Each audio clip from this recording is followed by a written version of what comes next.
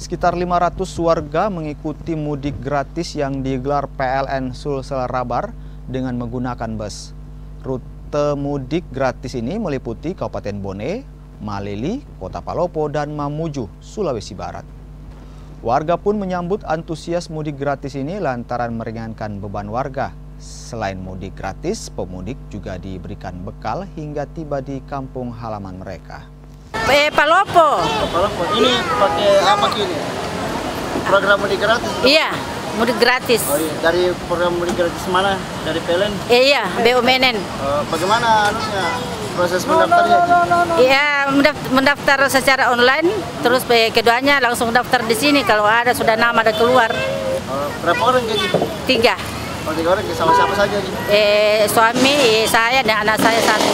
Rinciannya adalah 150 ke bawah-bawah via kapal, 350 uh, ini ada yang ke Bone 50, uh, Palopo 100, Malili 100, Mamuju 100. Armada Pak disiapkan? Ya? Armada bus yang disiapkan? Oh, kalau yang ini ya, ini kalau yang ke Bone, ini 5 bus kecil ya, kapal kecil. Uh, Mamuju 4 bus, uh, Palopo, Malili masing-masing 3 bus.